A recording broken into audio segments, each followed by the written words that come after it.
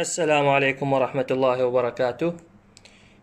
In this lecture, I am talking about the bone of leg. The bone of leg is composed from the tibia and fibula.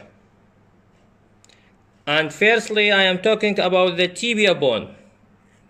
The tibia bone is composed from the proximal end, shaft, and distal end. And now I am talking about the proximal end.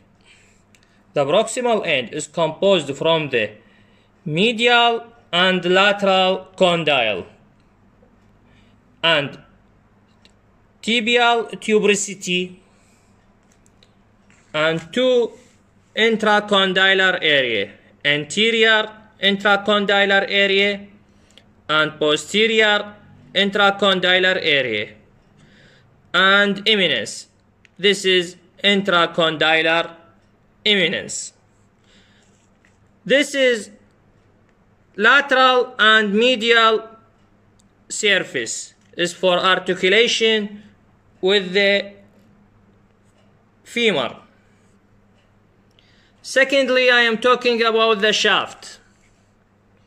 The shaft is composed from the three border and three surface anterior border lateral or interosseous border it's for attachment of interosseous membrane and medial border.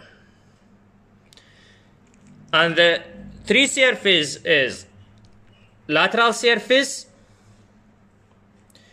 medial surface and posteriorly found posterior surface in the posterior surface found soleal line is for attachment of the soleus muscle. Finally, I am talking about the distal end.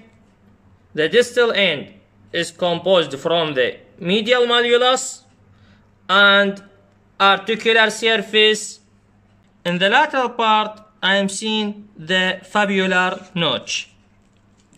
This is fibular notch. Now I am talking about the second bone. Is fibula bone. is composed from the head, styloid process, neck, shaft, and lateral malleolus